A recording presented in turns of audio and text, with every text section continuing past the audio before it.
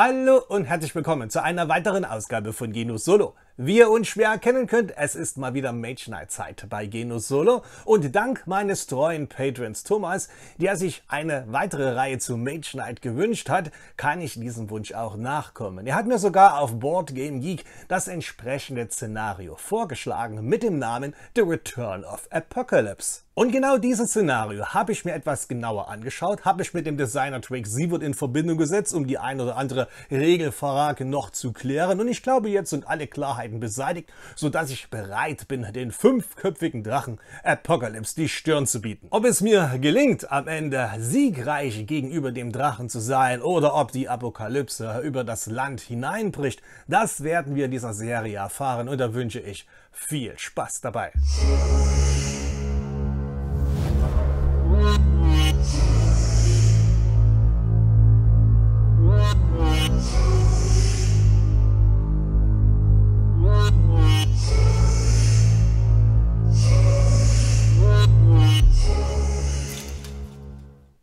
Willkommen, liebe Freunde von Mage Knight, zu einem neuen Szenario hier bei Genus Solo.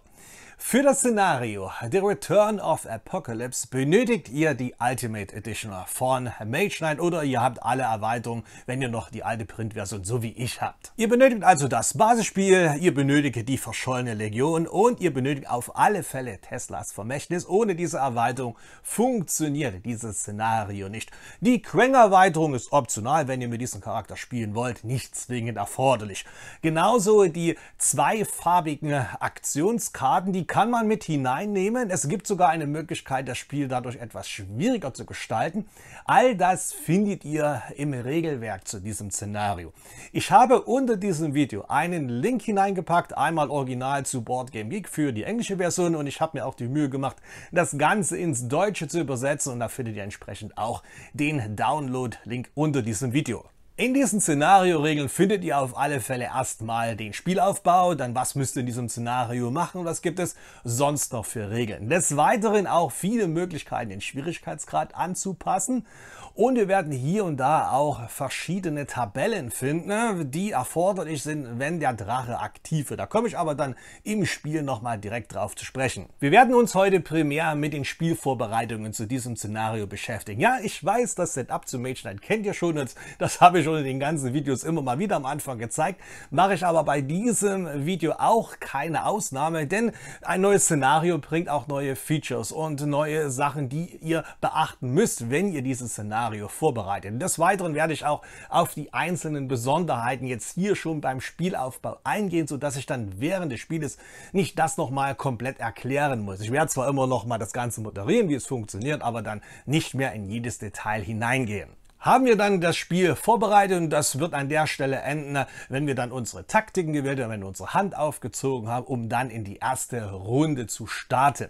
Und dann werden wir immer Ausgabe für Ausgabe eine weitere Runde spielen. Dieses Szenario geht wie üblicherweise über sechs Runden, drei Tage und drei Nächte. Da ich das Ganze tatsächlich nur mit einem Mage Knight spiele und auch auf die ganzen Regeln zu Mage Knight nicht mehr großartig eingehen werde, wird die Länge des Videos hoffentlich überschaubar sein, sodass ich vielleicht es tatsächlich mal schaffe, unter 45 Minuten zu bleiben. Ich denke mal, das ist auch ganz angenehm, nicht immer solche elend langen Mammut-Blockbuster von anderthalb Stunden zu haben. Mal ein Kurzvideo zwischendurch, was vielleicht nur 25 oder 35 Minuten geht, ist vielleicht auch mal erfrischend. Okay, damit bin ich mit den einleitenden Worten fertig. Noch ein letzter Hinweis. Wer die Regeln zu Mage Knight noch gar nicht kennt, den empfehle ich auf alle Fälle, meine Regelserie sich dazu anzuschauen. Hier oben rechts über den Infobutton kommt ihr zur ersten Mage Knight Reihe. Da werden erstmal alle Sachen des Basisspiels erklärt. Es gibt aber noch viel, viel mehr Playlists auf meinem Kanal, sodass auch die ganzen anderen Erweiterungen mit den zusätzlichen Features dort Einzug halten, solltet ihr euch gegebenenfalls dann auch anschauen. Für euch vielleicht noch zu wissen, dieses Szenario spiele ich jetzt zum allerersten Mal. Ich habe also überhaupt keine Ahnung, was mich tatsächlich erwartet. Ich weiß zwar die Regeln, aber wie ich das Ganze taktisch angehen werde, das wird wahrscheinlich erst das Spiel zeigen. Hängt natürlich auch immer davon ab, was man für Karten bekommt, was man für Gegner bekommt, was bekommt man für Landschaftsteile. Aber das werden wir jetzt alles gleich sehen, wenn wir das Spiel aufbauen. Bevor wir damit gleich beginnen, möchte ich euch natürlich noch die Hintergrundgeschichte zu diesem Szenario präsentieren. Und das habe ich bereits mit einem Teaser-Video gemacht. Wer das schon gesehen hat, kann das jetzt eigentlich überspringen. Habe entsprechende Kapitelmarken auch in diesem Video eingefügt, sodass ihr euch das nicht zwingend nochmal anschauen müsst. Wenn ihr es aber wollt, würde mich das natürlich umso mehr freuen. Für alle anderen jetzt die Hintergrundgeschichte zu The Return of Apocalypse und dann starten wir mit dem Spielaufbau.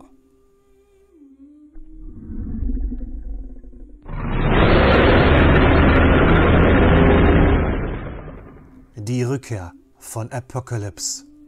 Seit Generationen besteht der Turai-Kult nur aus im Wind geflüsterten Geschichten, düsteren Geschichten von eifrigen Gläubigern, die ein uraltes Übel aufrechterhalten, indem sie die Lebenden opfern. Aber jetzt reiten die Dark Rider durch das Land und die Anhänger von Apocalypse sind endlich aus dem Schatten getreten. Seine Mitglieder haben ihre Loyalität gegenüber anderen Fraktionen wie unnötige Umhänge abgelegt und verehren nur noch Tod und Zerstörung. Obwohl sie noch keine eigene Armee aufgebaut haben, reichen gelegentliche Überfälle zur Entführung Unschuldiger aus, um das einfache Volk in Angst und Schrecken zu versetzen. Insbesondere da Gerüchte besagen, dass die Entführten durch die Anhänger zur Gewinnung von finsterer Magie geopfert werden sollten. Magie, die das Land ein für allemal spalten und zerstören könnte. Im Zeitalter des Nebels brachte der Drache Apocalypse tausende verdorbener Kreaturen zur Welt und führte sie zusammen mit den Mächten der Unterwelt auf einen Amoklauf, der das gesamte Land verwüstete. Unzählige Armeen kämpften tapfer, aber erfolglos gegen den Drachen Apocalypse, bis vier große Helden auftauchten. Katznak, Sirsin, Lord Valantis und Tovak Würmstalker. Diese mächtigen Krieger zerschmetterten Apocalypse in einem epischen und blutigen Kampf, der die Welt erschütterte und versiegelte ihn wieder in dem Ei, aus dem er stammte. Von diesem Tag an waren sie als die legendären Drachentöter bekannt. Das mystische Ei erwies sich als unzerstörbar. Von diesem Moment an versteckten Draconum und Dracona das Ei und schworen es für immer zu bewachen und zu verteidigen. Doch die Drachentöter selbst wurden in einer Art magischen Stase eingeschlossen, die entstand, als Apocalypse erneut erwachte. Jetzt, mehrere Jahrhunderte später, hat der Zyklus von Neuem begonnen. Das Ei wurde seinen Wächtern gewaltsam entrissen und die Anhänger von Apocalypse erhoben sich aus dem Schatten. Was die alten Fraktionsführer in der Vergangenheit befürchteten, passiert jetzt. Der Drache Apocalypse wurde wiedergeboren. Über die Drachentöter ist noch nichts bekannt und auch nicht, ob ihr magisches Siegel gebrochen wurde. Seltsamerweise hat sich selbst der Rat der Lehrer nicht mehr manifestiert. Sie scheinen nach den Ereignissen rund um das plötzliche Erscheinen von Apokalypse verschwunden zu sein. Aber das ist eine andere Geschichte. Durch die Kombination der Künste der nekromantischen Magie mit einer hohen Mana-Konzentration, einem uralten Relikt und einem mystischen Element gelang es dem Drachen, den wandernden Geist eines mächtigen verstorbenen Drakonum-Kriegers zu beschwören und in Besitz zu nehmen, der besessen und verraten wurde und von den Solunavi ermordet. Es scheint, dass Apocalypse, der ihm neues Leben verliehen hat, in einen gespenstigen Vertrauten oder in eine Marionette verwandelt hat.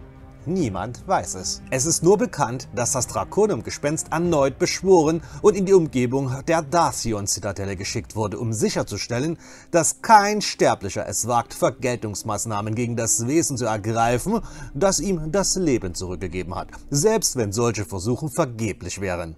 Es scheint, dass die entscheidende Schlacht einige Meilen nördlich der Zitadelle von Darsion in der Nähe eines Nebenflusses des Flusses Roa Galdor stattfinden wird. Nachdem ihr von einem Agenten der Hochelfenfürsten über die Ereignisse rund um Apocalypse informiert worden seid, seid ihr über den Fluss nach Osten auf das riesige Wildenplateau im Gebiet der Elementarmagier gegangen, mit geringen Erwartungen einen kurzen Waffenstillstand mit ihnen aushandeln zu können. Der hohe Prophet Priester Tremelen hat euren Vorschlag leider abgelehnt. Er ist mehr daran interessiert, seinen eigenen Krieg gegen die dunklen Kreuzfahrer zu gewinnen, ohne euren Worten Glauben zu schenken und zu ignorieren, was im Land passiert. Es scheint so, dass die Elementarmagier eines ihrer wichtigsten Ideale verloren haben, das Land, das Leben und die Natur zu bewahren und zu verteidigen um jeden Preis. Bei eurer Rückkehr nach der Landung in der Bucht von Dacion informieren euch die Einheimischen darüber, dass der Konflikt der beiden Fraktionen den Fluss überquert hat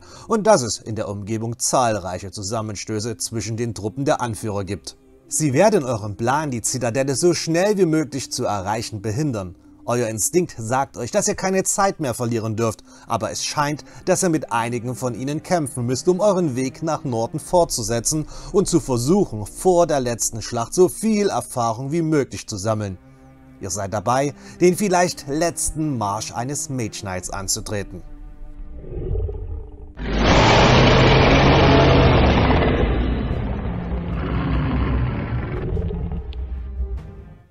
Okay, liebe Freunde, jetzt habt ihr erfahren, wie es um den Drachen Apocalypse bestimmt ist und unsere Aufgabe wird es jetzt sein, diesen zur Strecke zu bringen. Zu Beginn des Spieles, es handelt sich hierbei um ein reines Solo-Szenario, wählt ihr aus allen verfügbaren Mage Knight einfach einen Charakter, der euch am meisten zusagt. Weil die Geschichte hier mit ganz vielen Draconum-Kriegern zu tun hat, habe ich mir Goldix gewählt, denn der versucht es mit Apocalypse aufzunehmen. Wie jeder Mage Knight bringt auch Goldix sein Kartendeck mit sich und seine Fähigkeiten. Bei den Fähigkeiten ist die wettbewerbsorientierte Fähigkeit, also die mit dem schwarzen Kopf, entfernt worden. Die benötigen wir hier nicht. Dafür habe ich aber die kooperative Fähigkeit aus der verschollenen Legion mit hinzugenommen. Somit die Vorbereitung für unseren Mage ganz klassisch, gibt es überhaupt keine Änderung zu jedem anderen Szenario. Was wir allerdings hier besonders machen müssen, ist eine Sortierung bei den Feindblättchen. Zumindest bei den Drakonern, bei den braunen Feindblättchen und bei den umherziehenden Orks. Denn wir werden es auch mit der Fraktion der Elementaristen und der dunklen Kreuzritter zu tun haben und deswegen habe ich die entsprechenden Feindblättchen schon so sortiert, natürlich in sich gut gemischt. Das sind hier die dunklen Kreuzritter, das sind alle regulären Feindplättchen und das sind die Elementaristen. Wenn wir die entsprechenden Feindplättchen der Fraktionen besiegen, bekommen wir natürlich auch wieder Loot in Form dieser Relikte und entgegen zu Teslas Vermächtnis bekommen wir nicht nur den Loot, sondern zusätzlich noch einen Ruhm. Ansonsten musste man sich ja immer entscheiden, nimmt man so ein Plättchen oder nimmt man einen Ruhm. Hier in diesem Szenario bekommt man beides. Der Loot dieser Fraktionsplättchen kann aber dann auf herkömmliche Weise eingesetzt werden. Das heißt entweder für den Effekt, der draufsteht, oder ihr gebt euch einen Ruhm oder ihr könnt drei Einflüsse dafür erhalten für irgendwelche Interaktionen. Aber bedenkt, pro Zug darf Maximum ein eins solcher dieser Fraktionsplättchen eingesetzt werden. Die Spielvorbereitungen rings um unser Room-Tableau habe ich auch weitestgehend jetzt schon fertiggestellt. Wir haben unsere erweiterten Aktionskarten. Die ersten drei habe ich schon gezogen. Dann haben wir unser Zauberdeck mit schon drei gezogenen Karten. Achtung, auch hier die wettbewerbsorientierten Zauber entsprechend diese vier Stück heraussortieren, aber noch nicht so weit weglegen. Die werden wir nachher noch benötigen.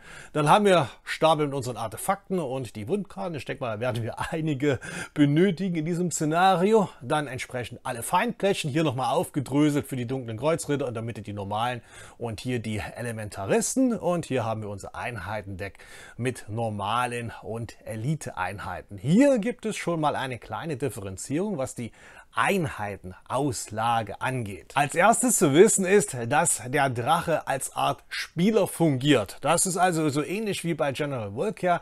Somit bekommen wir eine Einheit mehr in die Auslage. Die normalen Regeln wären ja Anzahl an Spieler plus zwei und da ja der Drache als Spieler jetzt hier in dem Sinne zählt, also zwei plus zwei sind das vier Einheiten. Normalerweise ist es jetzt so, dass wir vier normale Einheiten aufdecken und wir dürfen erst dann Elite-Einheiten aufdecken entdecken, wenn wir das erste Zentralteil erkundet haben. Hier gibt es in der Szenariobeschreibung schon eine kleine Erleichterung für euch, je nachdem in welchen Schwierigkeitsgrad ihr spielt. Es gibt drei verschiedene Schwierigkeitsgrade und zwar, dass der Drache verärgert ist, er ist wütend oder er läuft einfach amok. Ich habe mich dazu entschlossen, auch wenn ich das Szenario noch nicht gespielt habe, den mittleren Schwierigkeitsgrad zu wählen. Also, dass der Drache wütend ist. Der Schwierigkeitsgrad hat bereits Einfluss auf euer Einheitenangebot, denn ihr habt gegebenenfalls Zugriff vorher auf Elite-Einheiten. Zum Beispiel, wenn ihr im leichtesten Schwierigkeitsgrad spielt, habt ihr bereits in Runde 1 und 2 eine Elite-Karte dabei. Ob ihr die Kosten dafür bezahlen könnt, das ist eine andere Sache. Aber ich spiele ja im mittleren Schwierigkeitsgrad. Da hat es zur Relevanz, dass wir in Runde 1 und 2 keine Änderung erfahren. Das heißt, wir spielen mit vier normalen Einheiten. Allerdings schaffen wir es tatsächlich vorher einen Zentralteil aufzudecken. Dann gelten wieder die alten Mage Knight-Regeln. Da wird wieder abwechselnd Gold und Silber aufgedeckt. Für Runde 3 und 4, wenn wir dann noch kein Zentralteil aufgedeckt haben, dann bekommen wir aber trotzdem schon eine Elite-Einheit, also drei normale und eine Elite-Einheit. Und dann in Runde 5 und 6, egal ob wir ein Zentralteil aufgedeckt haben oder nicht, dann zwei silberne und zwei goldene Einheiten. Ihr seht schon, in welche Richtung das geht. Es wird also quasi mit einem erhöhten Schwierigkeitsgrad, was ja wütend hier in diesem Szenario ist, eigentlich das Einheitenangebot so modifizieren, dass es für euch leichter wird. Denn der Amok-Schwierigkeitsgrad sagt einfach, ihr spielt nach den normalen Einheitenregeln, dann müsst ihr erst ein Zentralteil aufgedeckt haben. Okay, dann machen wir das aber, wie gesagt, Runde 1 und 2, ganz normal. Da haben die Illusionisten, wir haben Armbrustschützen, noch mehr Armbrustschützen und nochmal Illusionisten. Aber bleiben wir gleich mal beim Thema Schwierigkeitsgrad, denn wir bekommen auch schon etwas Startruhm. Wenn ihr im höchsten Schwierigkeitsgrad spielt, dann natürlich nicht. Im mittleren Schwierigkeitsgrad bekommt ihr einen zusätzlichen Ruhm dazu, also auf 1. Und im leichten Schwierigkeitsgrad, dann bekommt ihr schon zwei Ruhm am Anfang. Das klingt jetzt nach nicht viel, aber gerade am Anfang, wo man ganz schnell ein Level Up erfahren kann, kann ein Ruhm mehr oder weniger schon mal das Zünglein an der Waage sein. Okay, dann haben wir das Ansehen, das startet ganz normal bei 0, da gibt es keine Veränderung. Und die Mana-Quelle, die bereiten wir wieder vor. Und genauso wie beim Einheitenangebot ist es jetzt so, dass Anzahl an Spieler plus zwei Würfel. Drache zählt als Spieler, somit haben wir vier Würfel und da brauchen wir mindestens die Hälfte an Grundfarben, Mana und das sieht gut aus. Einmal Gold, zweimal Rot, einmal Grün in der Quelle. An dieser Stelle sind wir somit fertig mit diesem Bereich. Als nächstes bereiten wir Apocalypse vor, also unseren Drachen. Der bekommt nämlich sein eigenes Handlungsdeck. Hier sehen wir unseren Drachen Apocalypse. Ich habe mal entsprechend eine Karte dafür ausgedruckt. Die habe ich auch als Download unter das Video hineingelegt, falls ihr dies haben wollt. Es ist nicht zwingend erforderlich, aber ich habe gern bei mir auf dem Tisch einen Bereich, wo ich Apocalypse darstelle, wo ich also sein Handlungsdeck hinlege und auch sonstige Sachen, die er so drauf hat. Das Handlungsdeck von Apocalypse wird ähnlich wie General Volker zusammengestellt bestehend aus einem Handlungsdeck eines Mage Knights, der nicht am Spiel dran teilnimmt, einer bestimmten Anzahl an Wundkarten, abhängig vom Schwierigkeitsgrad, und die vier wettbewerbsorientierten Zauber, die wir heraussortiert haben, die werden wir auch benötigen. Also legen wir uns die schon mal hier hin. Dann hatte ich ja gesagt gehabt, Wundkarten, und zwar abhängig vom Schwierigkeitsgrad. Und da ist der mittlere wütende Schwierigkeitsgrad mit 18 Wundkarten versehen. Der leichte hätte 20 und der schwere hätte nur 16. Und halt zusätzlich ein Kartendeck eines nicht dran teilnehmenden Mage Knights. Hier habe ich alle Mage Knights, die es so gibt. Ich mische einmal durch und dann werde ich entsprechend dieses Deck hinzufügen. Hat nämlich Einfluss darauf, welche Fähigkeiten gegebenenfalls dann in das allgemeine Angebot kommen. Und das könnten wir ja beim Level Up mit abgreifen im Solo-Spiel. Okay. Welches Deck wird es sein? Okay, von Norovas. Das ist also dieses Deck. Mit dem Symbol legen wir hier drauf. Ich werde das nachher offscreen richtig gut mischen. Sollte ihr auf alle Fälle, damit die ganzen Wundkarten nicht zwingend hintereinander kommen. Aber kann ja trotzdem passieren.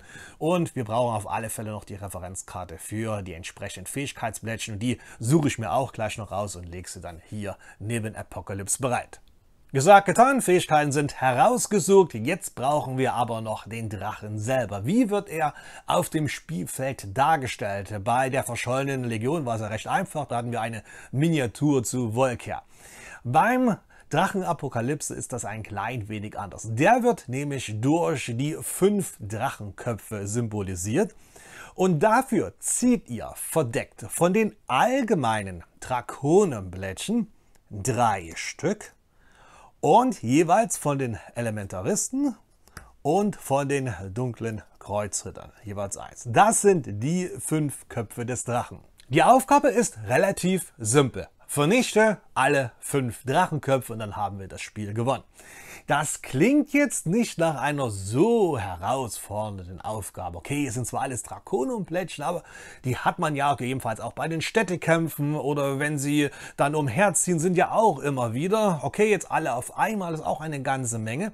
Problem ist nur, dass der Drache Apocalypse Arkan immun ist.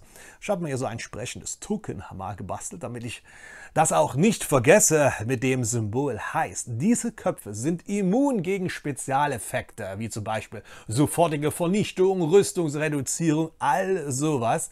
Und dadurch wird es natürlich erheblich schwerer, diese Köpfe abzuschlagen. Zum Glück tut der Drache nicht physisch in den Landen jetzt umherziehen, denn er hat sich verschanzt in einer zerstörten Stadt. Das schauen wir uns gleich an. Und wir müssen dorthin und ihn dort bezwingen. Und dann werde ich dann diesen Stapel entsprechend auf dieses Feld stellen, wo wir hin müssen. Aber dennoch wird der Drache Apocalypse die ganze Zeit präsent sein und uns mit seinen Plagen heimsuchen. Und diese Plagen oder das Unheil gibt es in sechs verschiedenen Varianten. Einmal in Form von Krieg, in Form von Wahnsinn, Hungersnot, Pest, Tod und dieser Drache fungiert sogar als Brutmutter. Und je nach Schwierigkeitsgrad wird der Drache bestimmte dieser Fähigkeiten haben. Im höchsten Schwierigkeitsgrad natürlich alle Fähigkeiten. Im leichten Schwierigkeitsgrad sind es nur zwei Fähigkeiten. Allerdings muss da eine Fähigkeit aus dem sogenannten Grundfarben bestehen. Was das heißt, werde ich euch jetzt gleich zeigen, wenn wir die Fähigkeiten bestimmen. Für den mittleren Schwierigkeitsgrad sind es vier Kräfte, die der Drache hat. Und die Kräfte Apocalypse werden über die Farben, die jetzt hier im Spiel vorkommen, symbolisiert. Wir haben einmal Rot für Krieg, Blau für Hunger, Grün für Wahnsinn, und dann haben wir Weiß für Pest, Schwarz für Tod und Gold ist die Brutmutter. Und nun bestimmen wir für unser Spiel die Kräfte, die Apocalypse hat. Wie gesagt, in einem ganz schweren Spiel auf Amok habt ihr alle Farben. In einem Zweispielerspiel werdet ihr jetzt noch zwei Farben bestimmen. Allerdings muss da eine Farbe bei den Vieren mindestens dabei sein. Wenn es alle beide sind, okay. Es darf aber niemals schwarz und gold gleichzeitig sein, muss also immer eine davon sein. Und wenn wir in einem mittleren Schwierigkeitsgrad sind, dann sind vier Token jetzt erforderlich oder vier Farben und da ist auf alle Fälle immer eine Grundfarbe dabei. Am besten ne, packt ihr diese Token jetzt in irgendein Gefäß, in einen Sack und dann zieht die entsprechende Anzahl heraus. Ich finde jetzt hier gerade keinen Sack, deswegen werde ich das mal ganz schnell auswürfeln. Ich werde mal vier Mana-Würfel nehmen. Mal sehen, was ich jetzt hier habe. Die vier auf alle Fälle, wenn was doppelt dabei ist, werde ich neu werfen müssen. Okay, wir haben hier zweimal Gold. Oh Gott, das wird schon richtig heftig. Also blau, Gold und schwarz, den muss ich neu werfen. Nochmal blau, nochmal Gold. Oh mein Gott. Oh, die ganzen goldenen Singer weg. Okay, jetzt habe ich die entsprechenden Farben, die ich brauche. Also, unser Apocalypse hat die Fähigkeit für die Hungerplage, dann die Brutmutter, Pest und Tod. Das sind die Fähigkeiten, die im Spiel sind. Das ist ein wichtiger Begriff, werden wir nachher im Spiel dann des Öfteren haben. Die beiden sind nicht im Spiel. Was diese einzelnen Kräfte für Apocalypse bedeuten, wie diese zum Einsatz kommen und was sie machen, das werden wir dann im Spiel erst kennenlernen, wenn Apocalypse an der Reihe ist. Okay, wir haben unseren Mage Knight gewählt, unser Kartenangebot haben wir präpariert, der Drache hat seine Kräfte erhalten. Jetzt brauchen wir nur noch ein was, und zwar die Bucht von Dacian bzw. das Land, was sich dahinter verbirgt, denn dort sind wir angekommen, dort wollen wir erstmal Richtung Dacian Zitadelle reisen, das heißt bedeutet, werde ich euch gleich zeigen und dort werden wir auch den Drachen in der Nähe finden. Für den Aufbau unseres Spielfeldes benötigen wir wieder diverse Stadtteile, Zentralteile und natürlich auch Landschaftsteile.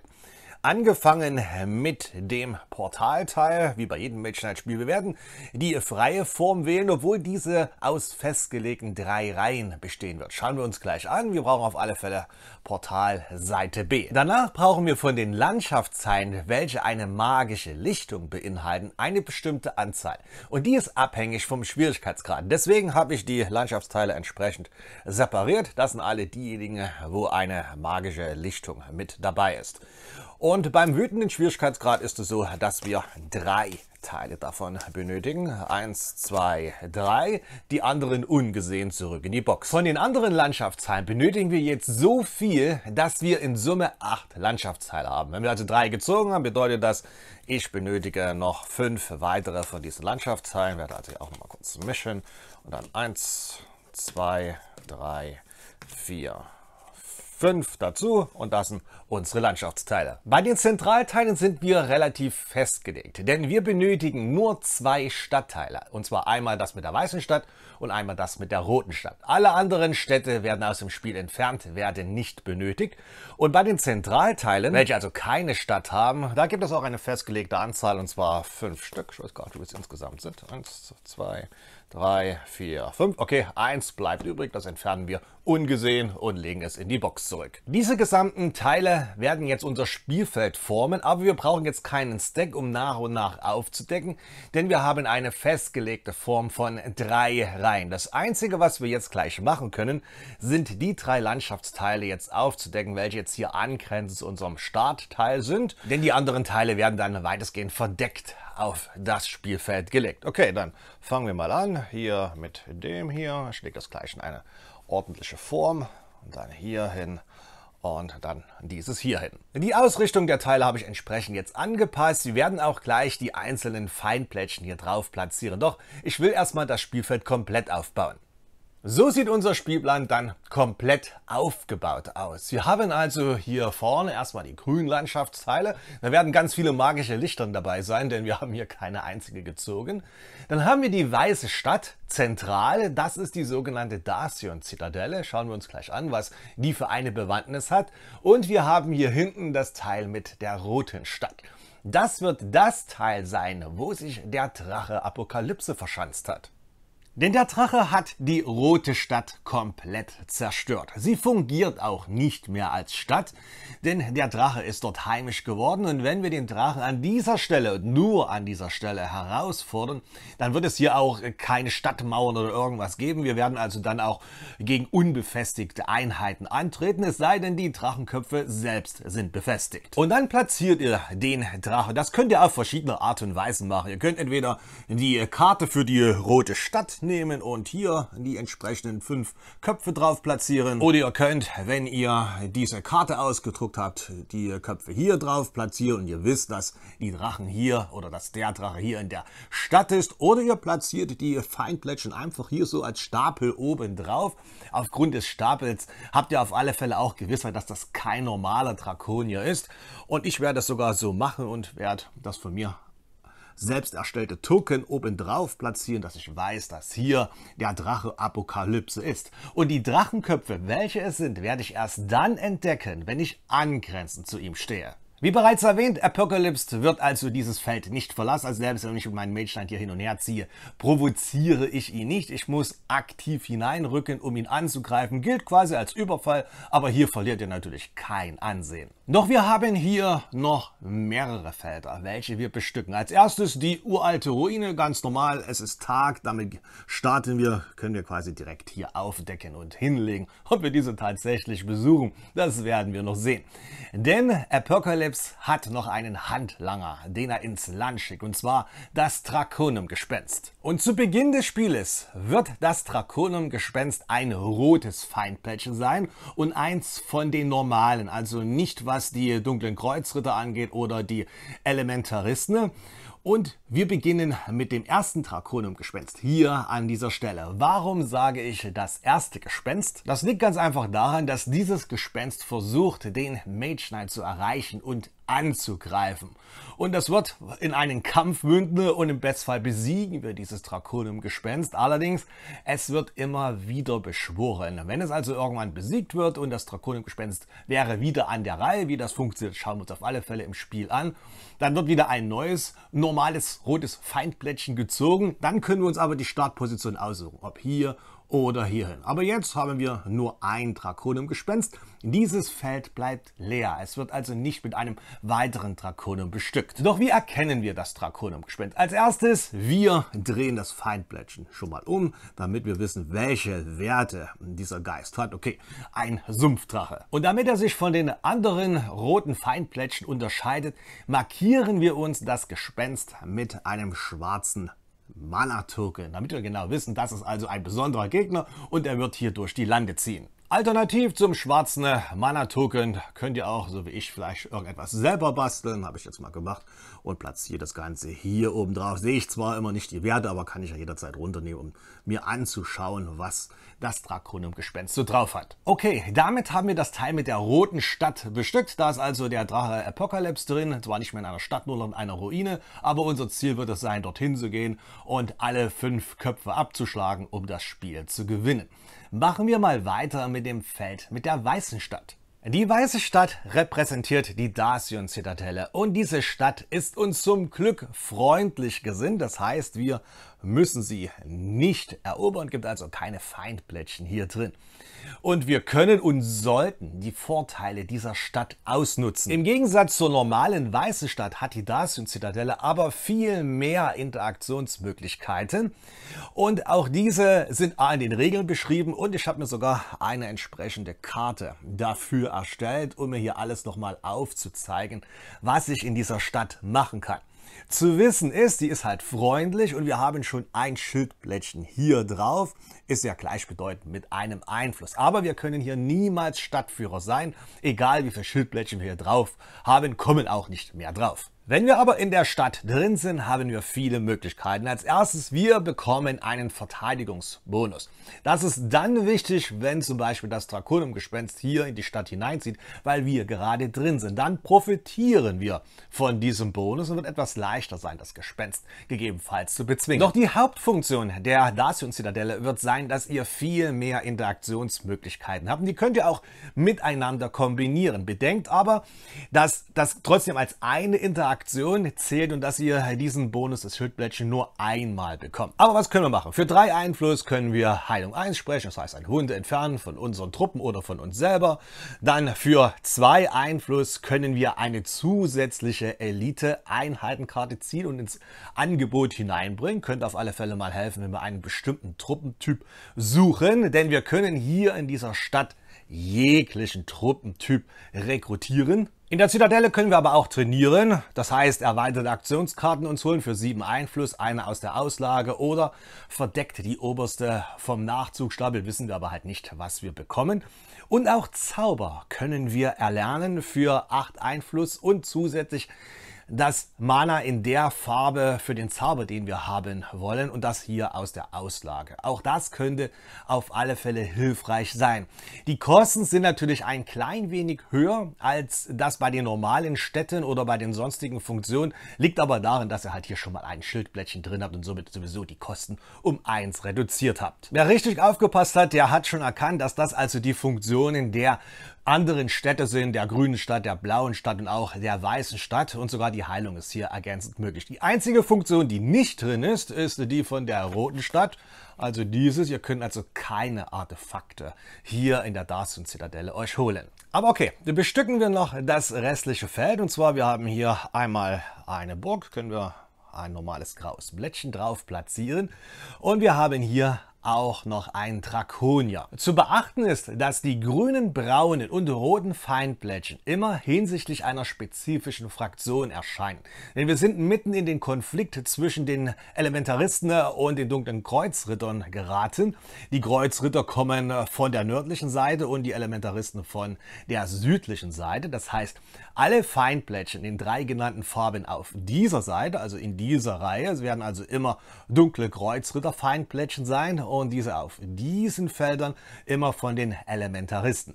In der Mitte, diese Reihe, da weiß man nicht genau, denn das ist genau die Konfliktzone und das wird erwürfelt. Heißt also, ich werde jetzt hier für diesen Drakonier einen Mana-Würfel nehmen und zeigt mir das Ergebnis rot, blau oder schwarz, dann wird es ein dunkler Kreuzritterfeind sein und zeigt das Ganze hingegen gold, grün oder weiß, dann ist es ein Elementarist. Na schauen wir mal, was wir jetzt haben. Wir haben schwarz bedeutet ein dunkler Kreuzritter. Und dann nehmen wir entsprechend vom passenden Stapel jetzt der dunklen Kreuzritter hier. Oh Gott diesen Drachen mit Vampirismus. Achtet im Spiel darauf, wenn ihr dann Feindblättchen von bestimmten Fraktionen besiegt, dass ihr die Ablage entsprechend auch sortiert, denn wenn ihr irgendwann neue Feindblättchen ziehen müsst und habt keine mehr am Nachzugstapel, dann mischt die Ablage und zieht dann dahingehend wieder neue. Sollten tatsächlich mal alle Feindblättchen von einer bestimmten Fraktion hier auf dem Spielfeld sein, sodass es keine mehr gibt, dann zieht ein normales, reguläres Feindblättchen des entsprechenden Feindtyps. Okay, damit haben haben wir die Weiße Stadt bestückt. Das wird unser Hauptziel wahrscheinlich erstmal sein, dorthin zu kommen. Ich denke mal, die Burg vielleicht wegzumachen. Haben wir immer einen guten Bonus, was unsere Hand angeht. Und den Drachen, ja, den werde ich erst dann angehen, wenn ich entsprechend stark genug bin. Zum Glück, das Draconum-Gespenst braucht eine Weile, bis wenn es uns erreicht. Aber irgendwann wird es uns auf alle Fälle zu packen bekommen. Oder wir müssen ganz schnell sein, um quasi immer wieder ihm zu entkommen. Aber ich denke mal auch die Ruhmpunkte von diesem Drakonengespenst sollte man mitnehmen, wenn es möglich ist. Bestücken wir jetzt nur noch die Teile, welche wir bereits zu Beginn des Spieles über unser Portal erspähen. Da haben wir einmal hier auf einem nördlichen Teil für einen dunklen Kreuzritter dieses Plättchen. Okay, dann haben wir eine Burg verdeckt. Dann haben wir zwei Magietürme. Wir haben zwei Ruinen, Staken aufdecken. Und dann haben wir hier noch einen umherziehenden Feind. Den muss ich wieder abwürfeln, weil er halt in der mittleren Reihe ist. Und da haben wir blau auch hier, die dunklen Kreuzritter. Schauen wir also nach, was bekommen wir hier. Okay. Na mal sehen.